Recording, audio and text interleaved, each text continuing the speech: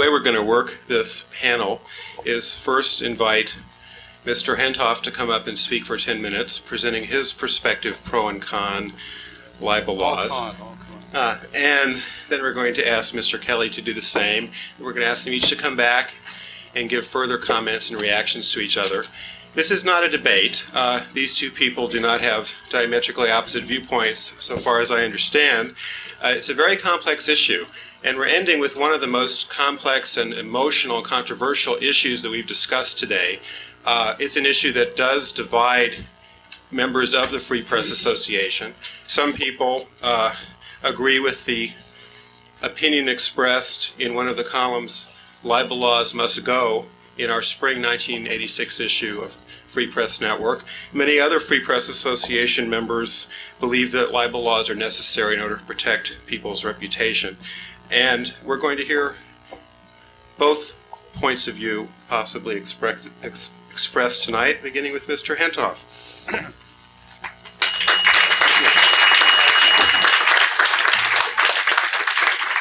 I, I have a number of losing causes, all but one of which I won't admit to be a lost cause, but the one that is a lost cause, as far as I can tell, is that libel laws, all libel laws, private, public, whatever, are a violation of the First Amendment and should be abolished.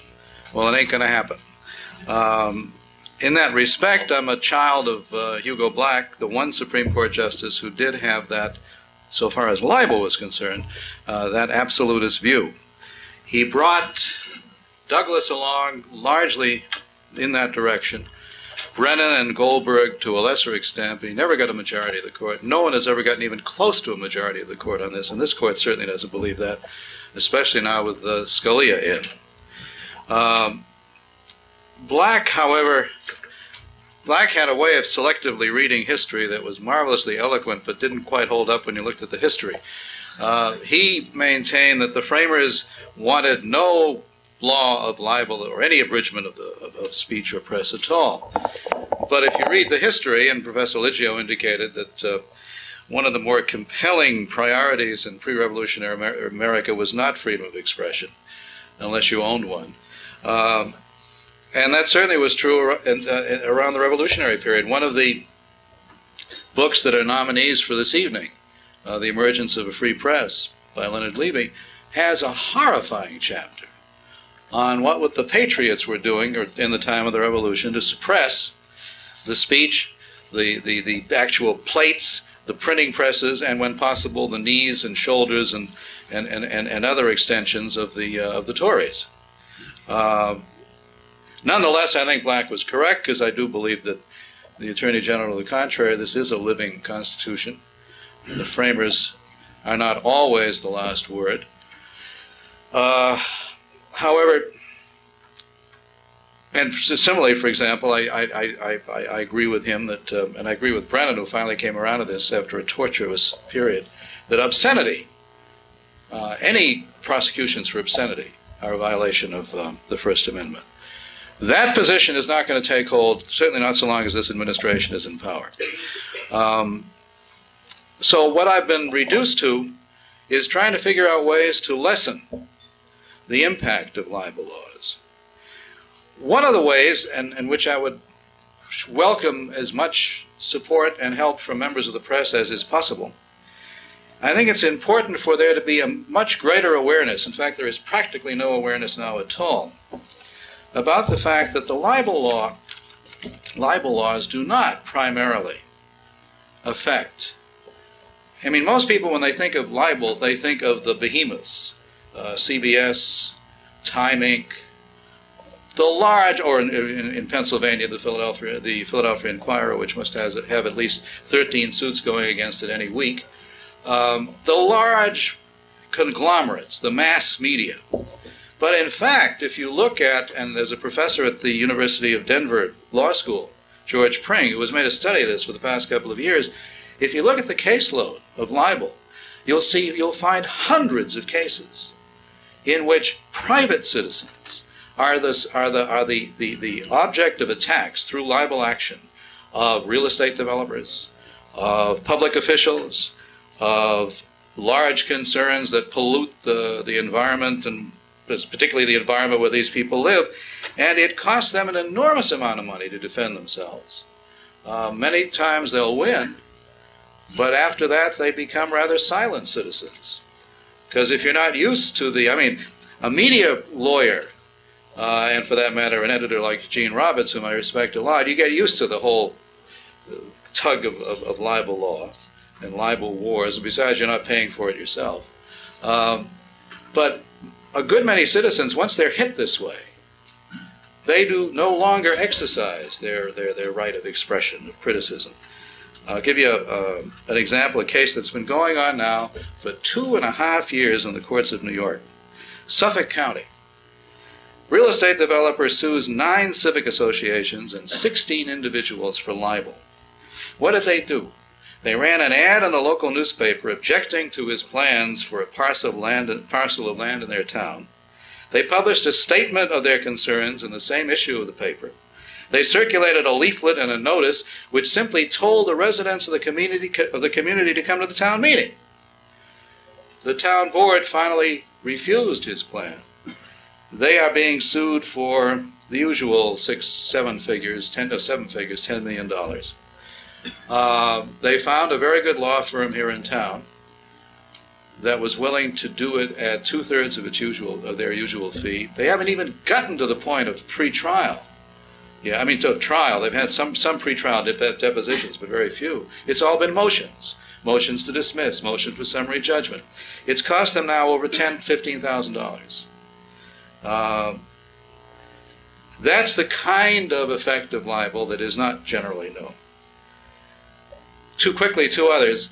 Uh, my favorite device, though I admit there are some problems with it, uh, there's a man named Ned Chilton, who's the publisher of the Charleston, West Virginia Gazette and Daily, the most powerful daily in the state. It's a statewide newspaper. And he got tired of these libel suits, which, as he said, were totally frivolous, baseless. Not all of them, but some of them. Now, when he sees such a suit coming along, he instructs his attorney to sue the other attorney, not the, not the person bringing the suit. But the other attorney, I mean, Ned's principle is you don't expect lay people to know law, but goddamn it, the attorney should know law. and it's been quite successful. The number of, of suits uh, brought against the Charleston Gazette is, has, uh, has diminished considerably. Uh, there have been at least there have been at least two suits that were that were simply withdrawn instantly as soon as the countersuit came along. Chilton has, has spoken around the country to publishers groups, and I asked him yesterday whether many people are following along, and he said no, because that it's it's people it's, it's somehow not done. Um, well, the third thing is is has nothing to do with with First Amendment theory or whatever. It has to do with why so many people do sue for libel, and I think it's important to bring in because that can diminish libel suits. There's a very important study that was conducted a year and a half ago by the uh, University of Iowa Law School in conjunction with the School of Journalism. And it was a quite extensive survey of people who brought cases of libel within the state of Iowa over a considerable period of time. They found, first of all, that contrary to some of the stereotypes that we have in the business, uh, the people who do sue are not necessarily litigious by, by nature, by temperament. Most of them whether they were public officials or public figures or private citizens, first called the newspaper. They were angry, they wanted to talk to somebody they, because they felt correctly that they had a right to complain. And the response from the newspapers, with very few exceptions, was cold, uh, arrogant, and generally very unfriendly. That's when they call their lawyers. Uh, this kind of thing, I mean, there, there's one paper I know where the rule is from the editor in chief, I'm sorry, from the lawyer. Lawyers now are taking over a lot of the prerogatives of editors in chief. The rule is from the lawyer that nobody whose story has been criticized by somebody who's very offended by it is going to answer that criticism. It has to go to a cooler head. Um, meanwhile, in terms of the actual effect of libel, I don't have to go into this, I think, it in any great detail. Gil Cranberg, who is the, a professor of journalism at the University of Iowa and was for many years the uh, editor of the editorial page of the Des Moines Register, did a survey a couple of years ago going all over the country, and he found what I found, not as, as method, methodically, methodologically as he did, that more and more editors of small papers, 25,000 circulation, let's say, uh, now think very hard when they get a piece that they know is going to be sued. I mean, they, they know their town. They know the people in the town. Piece may be entirely accurate, totally defensible in a court of law, but the editor, as one editor said to Gil Cranberg, you know, it's going to cost me $25,000 in legal fees to win this case. I can do a lot of things with $25,000 in this paper. I don't think I want to put it into a libel suit. That story gets killed. And this is happening more and more in book publishing. Uh, not too long ago, there was an anthology by the Red Stockings, a group of radical feminists. Random House was going to put it out. Random House is very strong in defending its authors most of the time against libel suits.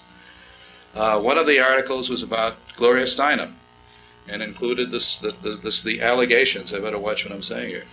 that uh, that she was wittingly or not involved in the CIA with the, with certain CIA operations overseas in the in the early 50s. Her lawyer, who was a board member of the New, of the American Civil Liberties Union, and has been for many years, wrote Random House a very tough letter, and the book was killed. And I saw the the publisher at a meeting of the what is it called? Freedom it's a free expression conference kind of thing. And he's the president of it robert bernstein. And i said how come you killed the book? And he said look we're in the publishing business not the litigating business. We can't do this for all of our books. So that one had to go. And and i'll end with uh, my own continuing education in in, uh, in libel law. I filed a piece two weeks ago for the washington post it had to do with um, a friendship center for elderly people in, in a small town in Wyoming, which is run on government funds, but is privately incorporated, which leads to a certain exposure if you're going to be sued for libel. And the, the story was about these two women, 175 and 180, who had been threatened with being kicked out of the place, which would be being sentenced to emptiness out there, because that's where they had all their friends and bingo and, and dancing and all that stuff. Very important center. They had merely criticized some of the administration's uh, operations. And the ACLU out there had taken the case. And I wrote a column based on the court papers provided me by the ACLU lawyer. The other side had not yet filed papers yet. I called the other side, they wouldn't talk to me.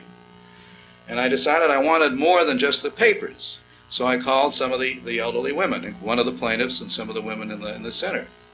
I spent three hours with a Washington Post libel lawyer to get that column cleared.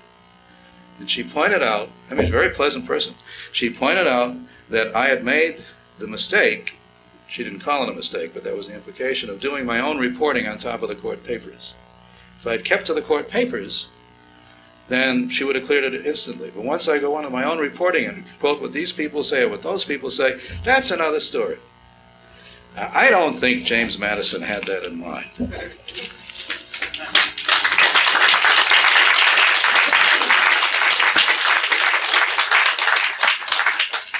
I think one thing uh, has become apparent from what Mr. Hentoff said, and that is that the reason why libel has become a major First Amendment issue today, whatever one's response to it or whatever one's position in regard to it is, is because of the great proliferation in recent years of libel suits, which in many cases has uh, killed many investigative reports, and in some cases, uh, uh, such as a small Illinois newspaper several years ago, uh, threatened its very existence. Um, but there are some wider philosophical issues involved in whether people have a right not to be libeled. And uh, David Kelley has specifically been doing a lot of thinking about that. And uh, now I think we're going to be hearing quite a different perspective on this controversial issue. Mr. Kelley.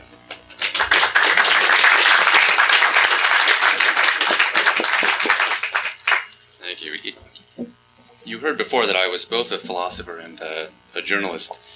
Uh, I lead kind of a double life. When things get hot in philosophy, if you can picture that situation, I, uh, I head south uh, across the border and I write an edit for Barron's. And uh, today I'm going to be talking about an issue of uh, obviously great importance to journalists, uh, namely the libel laws. Uh, I'm going to be defending them And uh, if things get hot for me here, I'm going to head back to philosophy and into the thickets. If they get really hot, I will yell fire and uh, exercise my First Amendment rights. in a different way. Uh, let me make it clear that I would never, ever defend any kind of seditious libel law of the kind represented by the Alien and Sedition Act, uh, uh, type going back to the Star Chamber of infamous memory. Uh, libel I regard as, as a completely an issue for the civil law. It's a question of uh, adjudicating um, spheres of freedom and rights uh, between private citizens, so that even when we deal with a government official suing for libel, I think he should be uh, required to sue as a private individual and not enlist the power of government behind him. So, with that preface, let me say that uh, as strongly as I believe in the First Amendment, um, we can't, uh, it seems to me, we cannot answer this question simply by appeal to it because uh, the First Amendment right to freedom of speech and press is certainly absolute within its sphere, but in, pri- in this, as in any other area of private law where we have to draw border lines between people's rights, um, we have to draw the border before we can get uh, uh, know what the right includes. And in this particular case, I believe the First Amendment right to speak um, has a border with something I would call a right to a reputation. I believe that people, in the course of their lives, um, have something that we might describe as a more or less public record of their more or less public actions, and that they have a right, because that is an important asset for virtually all their dealings with the world, professional and personal, uh, not to have that record misrepresented in ways that they would then have to undertake uh, to correct, uh, usually at tremendous expense. I think of uh, reputation in that sense as a kind of asset. It consists not of, uh, to I hope diffuse one of the straw man arguments in this field. Uh, it, a reputation does not consist of a set of beliefs in other people's minds. Everyone certainly is free to believe whatever they want about any other individual. But uh, the libel law draws a distinction between facts, factual statements, and uh, evaluative or interpretive statements. It's, I would never say that someone libeled me by saying I was a lousy writer. Uh, that's your opinion. Uh, you can make up, everyone can make up their own mind on the basis of the facts that are available. But it is a libel to say that I plagiarized my last article. Uh, and that destroys one of the few, th- few assets I have as a writer, and I know many of you are writers too, which is our reputation. Uh, that's about all I have to show for 10 years in the business. And uh, so I believe that there is such a thing as a, as a right to a reputation. I don't think the courts have drawn the, uh, the appropriate distinction between factual and evaluative statements in the right place all the time. And, and we want to get into cases, maybe we could look at some of those. But I'm going to take that as my one of my assumptions. Now, the law, as it currently stands, purports to defend this right to reputation. It defines an offense of libel. But in my view, the the uh, law is in a state of chaos. It's um, a disaster, largely because the Supreme Court has drawn a set of distinctions um, between private figures and public figures, um, between statements made in the context of public issues and statements made in the context of private issues, and to some extent between media defendants and non media defendants.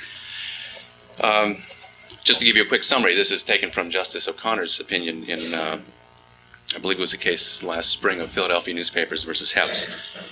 If a public figure, defined as someone either who is a government official or who has achieved some position of prominence and influence in uh, society, if a public figure is uh, defamed, which is a negative statement, uh, factual statement made about them in the context of a public issue, then that person has to um, establish that the statement was made with actual malice, the term of legal art, meaning um, knowledge of its falsity or reckless disregard of its falsity.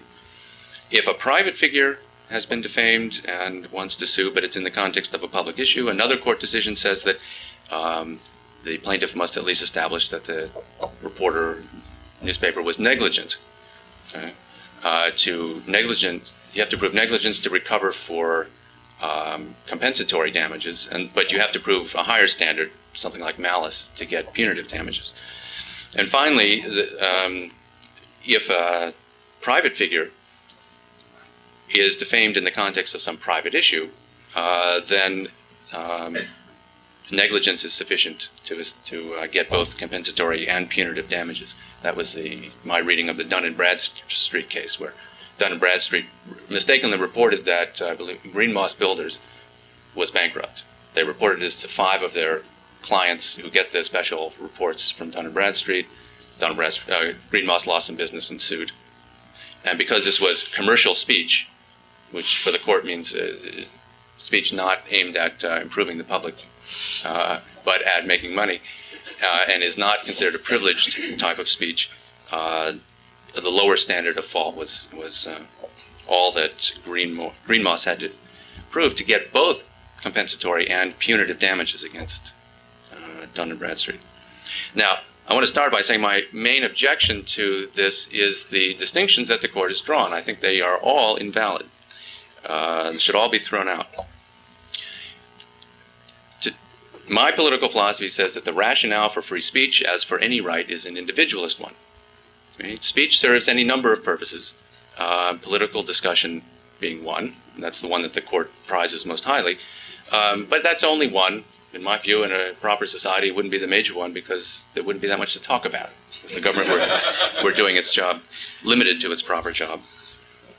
But at, at any rate, whatever the purposes that uh, give us the right, an individualist philosophy says once you have the right, you don't have to defend your exercise of it by uh, the purpose for which you're exercising it. You don't have, there speech is speech, and you have a right to it, no matter whether you're trying to make money or whether you're discussing politics uh, or whatever.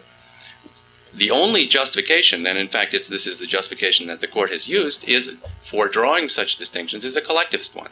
It says uh, the basis for free speech, and this is quite explicit in, in Justice Brennan's def, um, argument in the famous New York Times versus Sullivan case. The basis for, for the First Amendment freedom is that certain kinds of discussion serve the society's interest in having an open flow of information about political and other contemporary affairs. So it's not that you have a right because you have a right. Uh, the concept of right is almost inapplicable here. It's, it's that the court will recognize this freedom because it serves society. Obviously, the distinction between commercial and non-commercial speech is based on the same um, collectivist standard. I think it is it is wrong in philosophical principle to try to um, employ a collectivist defense of individual rights and freedoms, and it is very dangerous in practice. If you want to see what it looks like in practice, a pure case, look at broadcasting. Uh, print media are protected partly by because they were around in the 18th century when individualist traditions were um, still operative. Broadcasting had the misfortune to emerge in the 20s when when the uh, political philosophy had, had shifted over to a much more collectivist outlook. And what you have is things like the fairness doctrine, uh, the uh, equal time rule, all kinds of content restrictions implicit in the licensing schemes, being defended not just because of the public owns the airwaves, but also because this is um, to protect the First Amendment. Uh, so that's one objection to these distinctions. The second one is the kind of uh, progressivist egalitarianism involved in in them. I mean, what the libel law says is that if you are a little guy, um, you get to you get your right uh, reputation protected. But if you have earned some position uh, and have some influence and stature and some sizable reputation to protect, you don't get it protected. Okay? So, I mean, it's like saying that rich people should not be protected against theft, at least not to the same degree as poor people, because after all, rich people can go out and replace the products and the stolen goods. Uh, and again, I take complete issue with that. Okay, uh, I've been asked to keep these remarks on the on the brief side, so let me um, uh, turn to the uh, what I would do. What I would do is quite simple. I would use a negligence standard across the board for private and public figures, government officials acting as private in their private capacity, uh, and um, as well as private citizens. Negligence is the standard that I think ought to, is appropriate throughout the entire realm of torts, the civil law dealing with, with injuries uh, and violations to rights uh, by one individual by another. Uh, I think there certainly should not be, I mean, the present state of, of things, if you look at the entire field of liability law, seems to be incoherent. In the early 60s, I, in the early 60s, the principle of strict liability that is, that you were liable for any damages, uh, regardless of fault, was imposed on product liability. Okay, so product manufacturers are now subject to um, recovery of damages, regardless of whether they had any inkling. In one case, court held that they were uh, they could be held responsible for uh, damages that were scientifically unknowable at the time the product was produced. On the other hand, libel has gone in the opposite direction, uh, so that now if you're a public figure, um, you're at the the standard of fault you have to prove is at the opposite extreme from strict liability. You have to show that it was not it was beyond negligence that it was actual reckless disregard of of, uh, of the facts. I, I, what this reflects is a kind of is an element of liberalism, uh, distinction between the market for goods, which is regarded as lowly, and, and we can sort of chain the manufacturers, versus the market for ideas, which is holy and, and should be protected by uh, a different standard. So that's the first change I would make. I, I would try to institute a system of, of uh, uh, standard of negligence for all libel suits. But secondly, I would cut back, if not eliminate, all punitive damages. I think punitive damages are, are an anomaly in civil law. Uh, they're wreaking havoc across the entire realm. They're chasing vaccines out of the market, uh, gas anesthesiologists across all a whole range of products. Um, they're having a disastrous effect, and I think the the, the, the most chilling effect in libel comes from the specter of, of uh, these punitive damages. Pun- if an act is worth punishing, uh, by and large, it seems to me it ought to be handled by the criminal law, where the act is defined and the punishment is specified clearly. Uh, I wouldn't. I, I, can't go all the way that way. I, I suppose if there ought to be some realm for punitive damages for truly outrageous behavior.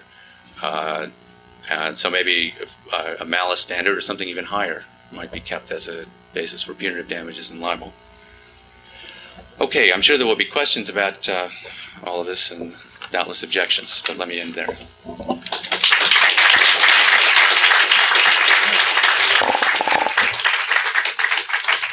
I doubt that things will get too hot tonight for either of these gentlemen, both of whom have expressed differing but quite reasonable points of view. Quite intriguing differences, I might add. Uh, speaking of uh, our right to consider uh, Mr. Kelley a lousy writer, uh, a right with which I totally agree. Uh, uh, I would like to point out that the right, right. I always make a difference between the right to do something and whether what you do is right. The many of the members of the Free Press Association in this room participated in the uh, screening process and in the voting for the Mencken Award. So I thought I'd mention one other very nice thing about uh, both of these gentlemen. Both of them are held in very high esteem as far as their reputations as good writers, because both of them happen to be among this year's Mencken Award finalists. Uh, Mr. Kelley in the Best Editorial category, and Mr. Hentoff in the Best Feature category. And uh, we also have uh, some other finalists who, who are here, and who will, many more will be arriving this evening for the banquet. And uh, our cocktail party later honors them, and I'm very honored to have both of them here. And no more flowery language. Mr. Hentoff, what do you want to say about all this? I was going to say that I agreed with uh, Mr. Kelley on, on two things, but now it's on one and a half.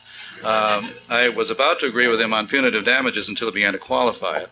I think there should be no punitive damages. Of course, I also think there should be no compensatory damages. So that's another story. Um, I do agree with them entirely about about broadcasting. I think the fairness doctrine and all those other restrictions are wholly unconstitutional. A point the ACLU has yet to realize.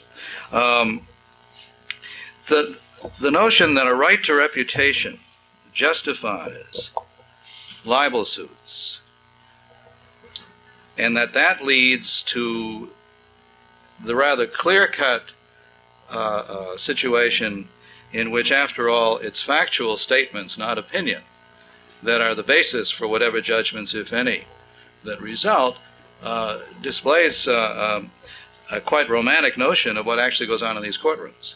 The hardest single thing a jury has to do, and this is shown again and again and again, is to decide which is opinion, which is fact, and how you inter- interlace the, the, the, two. And then you get judges helping them along, like the judge in the, in, the, in the D.C. Circuit Court of Appeals in a Washington Post case, who said that because the Washington Post has a reputation as a muckraking paper, he used that term, there is a presumption in favor of the fact that it committed actual malice in this case. It makes it very easy for that, in, in that case, for the jury. The idea of having a standard of negligence, simple, pure negligence, in libel suits against the press in particular, would mean that, oh, I'd say 85 to 90 percent of the newspapers in this country and magazines would read the way our Sunday Visitor used to read.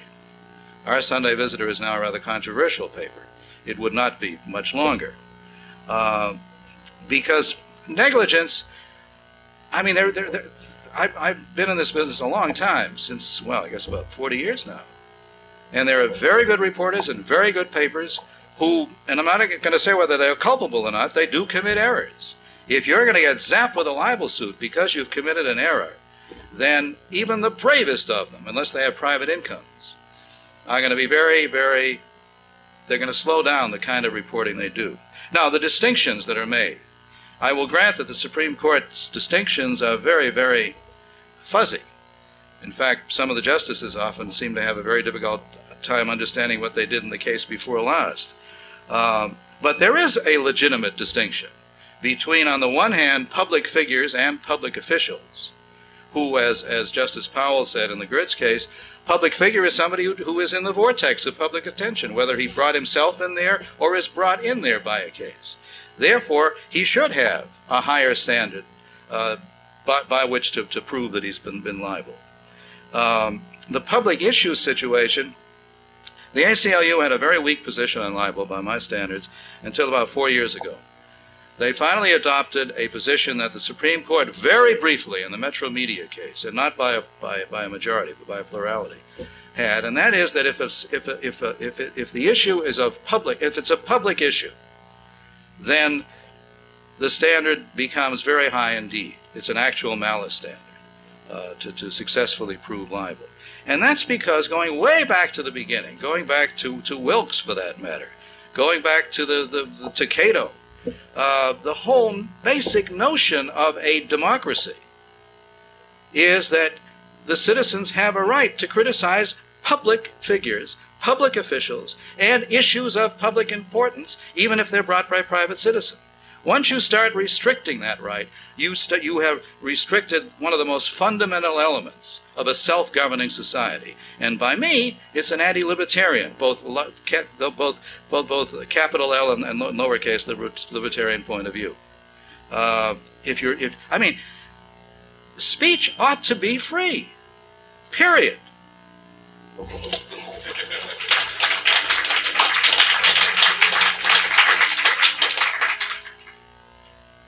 I'm going to take uh, up a series of points that Mr. Hentoff made on no particular order.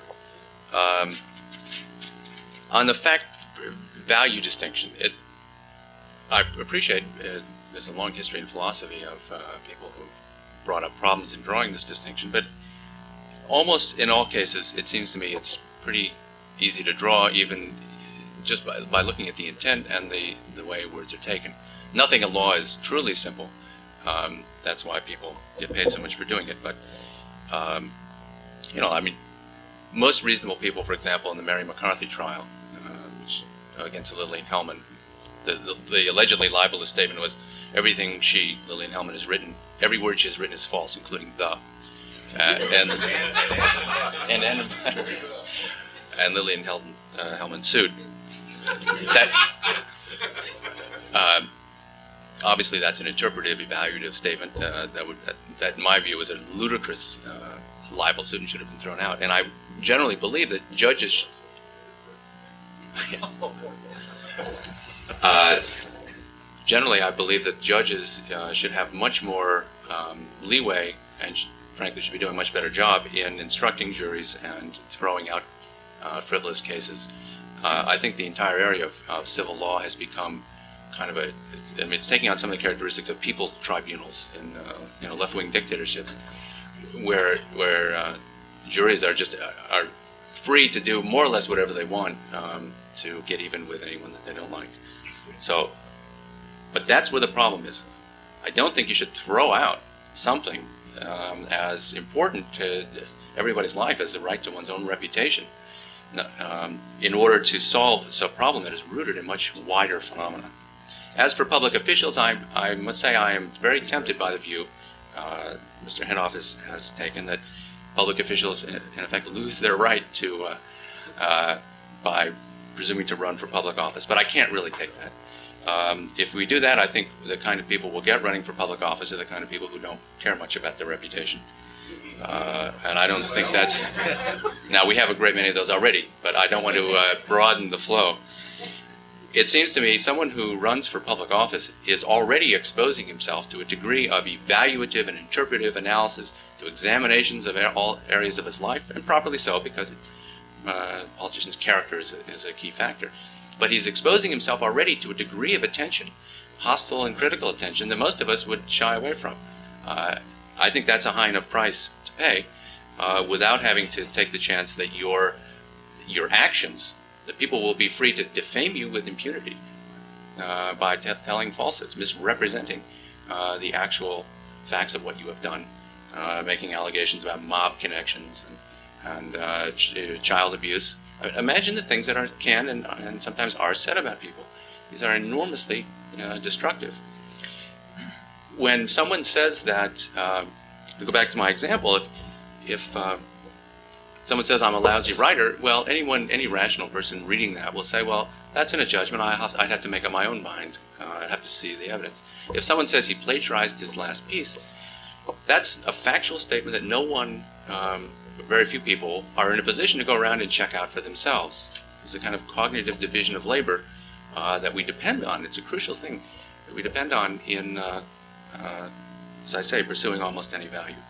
So, uh, as much as I um, would like to keep the chilling effect, and I, it's certainly true that there is a genuine chilling effect from uh, the potential for libel suits, as much as I would like to keep that to a minimum, uh, I would not do it at the cost of sacrificing another right, uh, and particularly when it seems to me the broadest problem is by far rooted in the, just the, the way uh, civil law is being run uh, across the board. Uh, finally, on the issue of the uh, on this distinction between private issues and public issues, issues of private significance, public significance, the last thing in the world I think we should want the court to be doing, or the government in any form, is to be drawing distinctions between which issues are important and which aren't. That, if anything, is a content distinction. That is, uh, it's it's made a disaster area out of broadcasting law right? Because the fairness doctrine applies only in the context of a discussion of public issues. That's the formulation of the fairness doctrine. And so the FCC has these a, long, elaborate list of what factors you might consider um, in distinguishing a, uh, a, public from a private issue. The um, I remember one case that was uh, FCC rulings held at a broadcaster who discussed uh, what was it solar power. I've, I've forgotten how this worked, but someone who was who was um, took a position on solar power was found to be subject to the fairness doctrine because that was considered a public issue. Someone who took um, a position on wind power was not subject to the fairness doctrine because that was not considered to be an issue of public significance. There's a pair of California cases separated by about three years. Um, that's that's ludicrous. You can imagine much more dangerous things happening.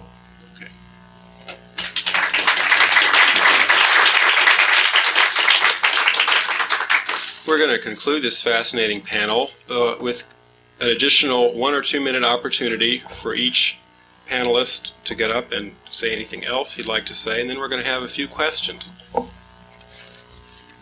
First, the way to get rid of the difference between solar and wind power as a, as a, as a, as a legal issue is to have no distinctions at all and no libel law. Uh, some years ago at New York University, Hugo Black was engaged in a dialogue, and somebody asked him very much along the line that, that Mr. Kelley has been talking about. You must realize that, that there are reputations, uh, that, that there are lives that are injured very seriously by, by, the, by, by, by, by these, these defamatory statements.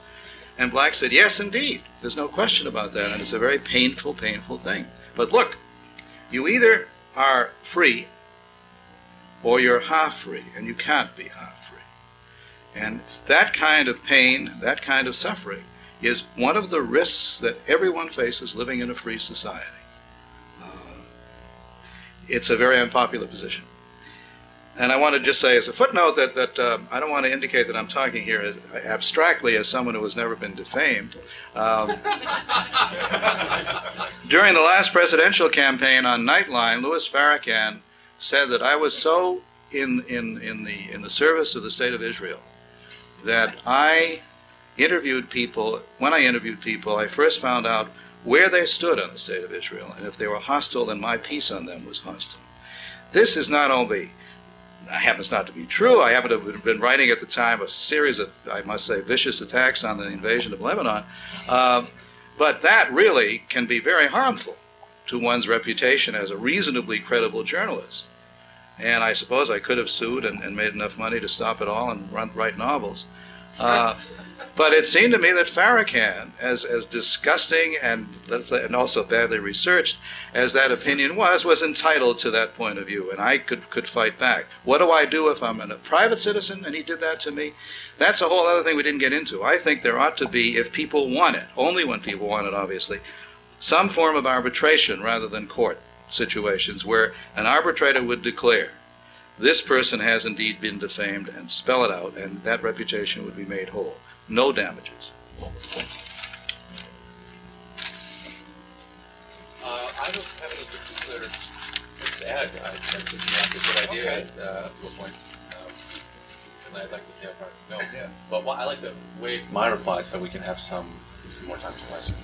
Okay, uh, I'll call on people and uh, repeat the question, and I'd like each of you to come up here if you want to answer it. Uh, let's take uh, you in the corner there. Yes. You in the corner there? That's- I'm, I'm, it's been a long day, Bob. It's okay, Michael, I remember your name. Um, um, uh, Mr. Hentoff. Yeah. It seems, in, in a certain manner of perspective here, that I hear a distinction between those who are arguing that uh, of what should be at the apex of the social value heap, uh, liberty or the individual. That there is a kind of a dichotomy implied by the discussion here where the reputation of an individual on the one hand is considered paramount, and on the other, the system in which the individual operates. And I wondered if, if both of you would care to comment on that. Uh, repeating the extremely subtle and complex question uh, is uh, whether what is at the height of the apex of values, uh, the individual or freedom, considered as an abstract system or principle, Mr. Hendel? I see in- liberty as individual liberty fundamentally. Bill of Rights is about individual liberties. I don't see a contradiction. The system is based on individual liberties, otherwise, the system is not working. And the most important liberty is, is freedom of expression because anything you want to change in the system is going to come from your ability to say it. Mr. Kelley? would you- Uh, yeah, I, I would like to say a word about that. Um, in my view, the system of rights is designed to protect two things freedom of action and security in enjoying the results, the products of your action. So that property rights, to me, are, are as important and fundamental an aspect of human freedom, uh, of human rights, as rights to engage in actions, including those actions that result in, in producing property. Now, reputation is in the second category. It's the product of your actions. If you take away that whole category of rights, um, or regard it as less fundamental, what you're saying is that the goal is less fundamental than the means. Freedom is the means to produce values that we need. One of them is reputation. You establish a record, a track record, uh, as well just as a you know a material producer produces uh, uh, assets that he can then use to do things he couldn't before. Those are the goals of these actions, and you can't get rid of them uh, or down devalue them um, in relationship to the means, the freedom of acting. Joan? Yes, I, I was intrigued by Mr. Hentoff's suggestion of arbitration for private parties because it seems to me that I find myself agreeing with both people here. I agree with uh, Dr. Kelley about the importance of property rights, and I agree with Mr. Hentoff uh, about uh, being very skeptical about limiting the First Amendment.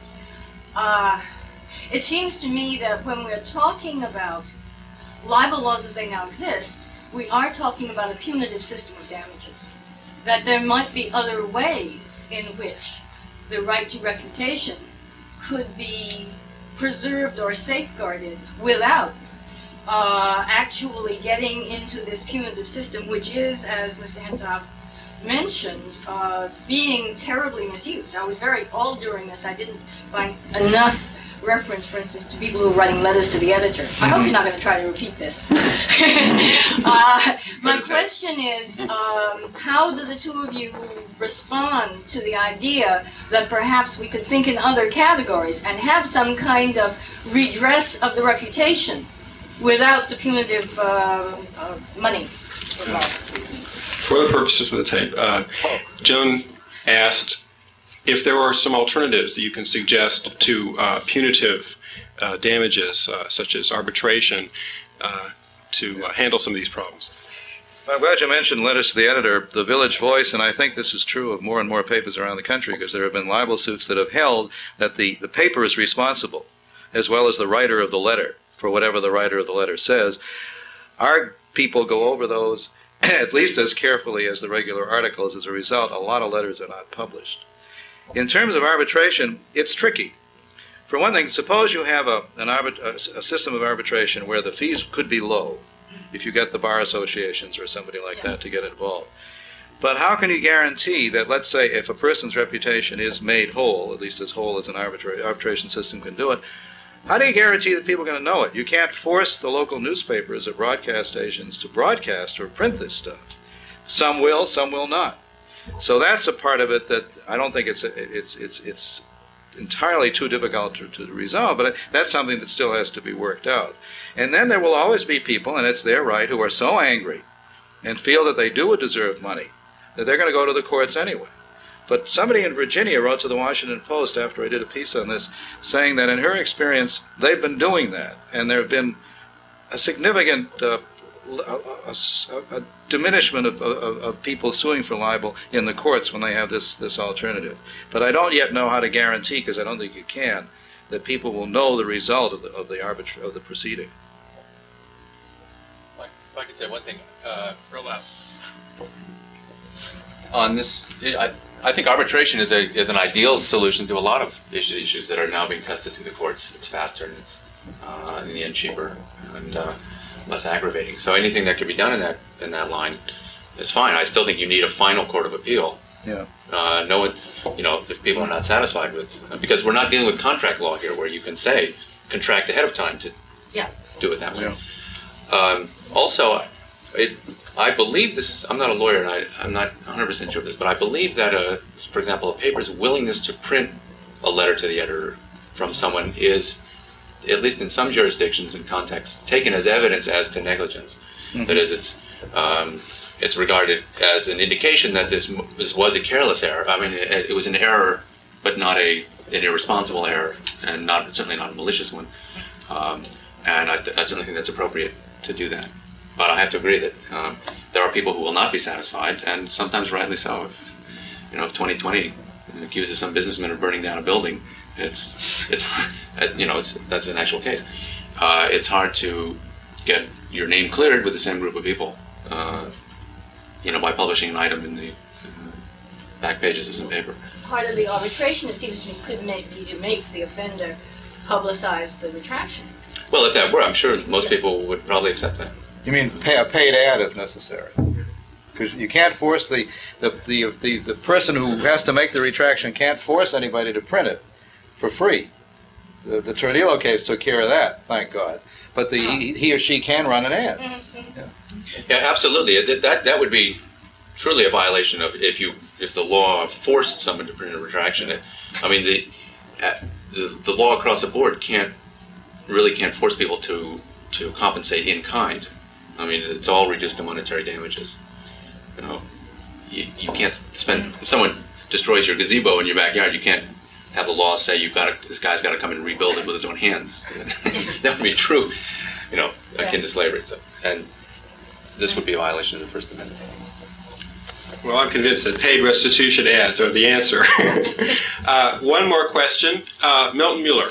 I have two questions, actually, so um, Mr. Kelley, they're basically directed to you. Uh, first of all, it seems to me that you're not defending a right to a reputation. You're saying that people don't have the right to say things that are factually not true. or can be shown to be factually not true, and I'm wondering how far you want to take that, because it sounds rather dangerous to me in terms of how far you take it.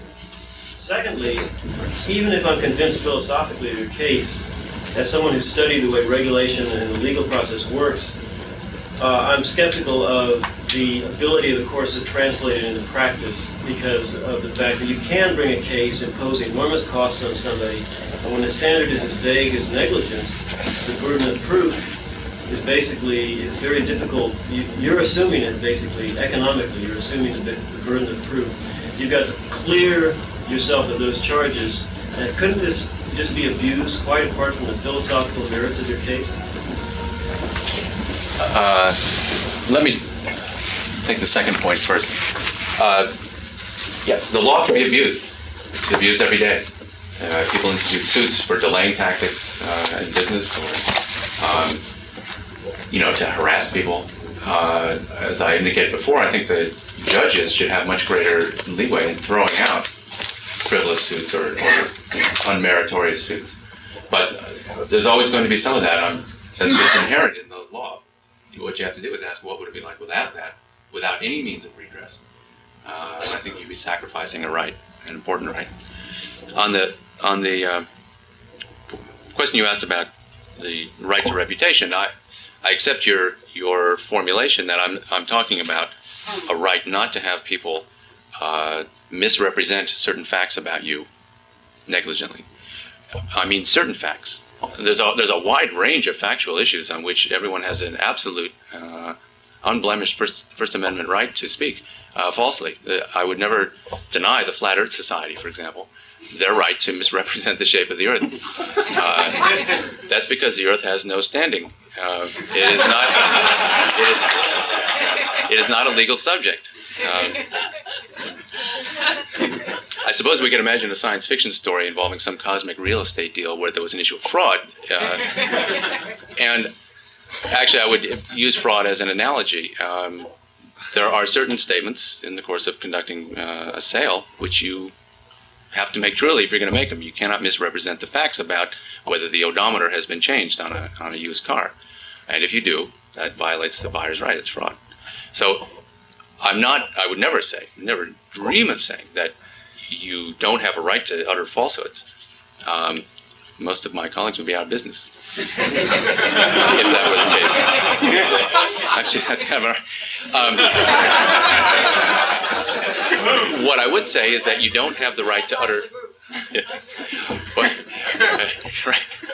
what I would say is that you don't have the right to utter falsehoods of certain narrowly specified types those that that uh, violate rights of, of uh, other people. I think, I mean, it is possible for speech to violate rights, and in this respect, I mean, I, I don't accept the idea that the only thing that can violate a right is physical coercion.